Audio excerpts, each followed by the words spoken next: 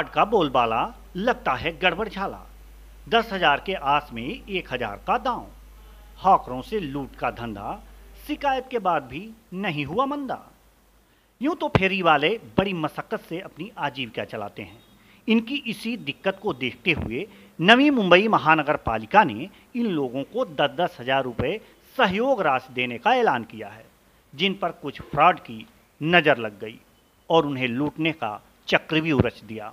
मामला नवी मुंबई के मंडी इलाके का है, जहाँ एक फर्जी फेरी वाला यूनियन का अध्यक्ष सरकार से मिलने वाले दस हज़ार रुपये के सहयोग राशि दिलाने का दम भरता है और एक एक हज़ार रुपये की पावती बनाकर अपनी जेबें भरता है। जब यह बात समाजसेवी प्रफुल्ल महात्रे को पता चली तो उन्होंने महानगर पालिका और कमिश्नर से इस बात की शिकायत की। मैंने महानगर पालिका के कमिश्नर और वार्ड अधिकारी इनको एक लेटर लिखित दिया है कि ये बोगस आदमी है, ये कोई यूनियन लीडर नहीं है, उसका पावती चलनी नहीं चाहिए, उसकी पावती लगेगी तो वो फेरी वालों का फॉर्म बाद होगा, उनको दस हज़ार रुपया नहीं मिलेगा। ऐसा मैंने कंप्लेंट किया है और वो कंप्लेंट पुलिस को और महानगर पालिका के अधिकारियों को देने का काम किया है। शिकायत के बाद भी इस फर्जी फेरी वाले यूनियन अध्यक्ष के खिलाफ कोई कार्रवाई नहीं हुई और इसके हौसले बुलंद हो गए। फिर क्या था? यह फर्जी यूनियन अध्यक्ष बार ऑफ़िस के सामने टेबल लगाकर पावती काटने लगा और गरीब फेरी वाले लूटते रहे।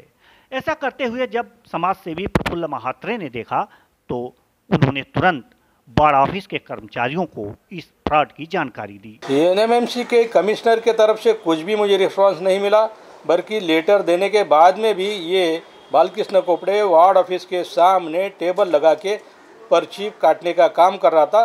तो फिर मैंने वहाँ के अधिकारियों को फ़ोन करके बोला कि आप ये फ्रॉड यूनियन लीडर को मदद करने का काम करता है तो फिर मैं आपके खिलाफ भी आंदोलन खड़ा कर दूँगा। तब जाके उसको वहाँ से हटाने का काम किया। सचमुच बड़ी अजीब बात है। अधिकारियों को इस फ्रॉड की सूचना मिलने के बाद भी यह फ्रॉड अनवरत जारी है और आरोपी निर्बाध रूप से गरीब फेरी वालों को लूट रहा है। आखिर जिम्मेदार अधिकारी इस पर चुप क्यों हैं, यह समझ से परे है। Special desk TV one India. Latest update और खबरों के लिए टीवी वन इंडिया को सब्सक्राइब करें और नोटिफिकेशन पाने के लिए बेल आइकॉन को दबाना मत भूलें।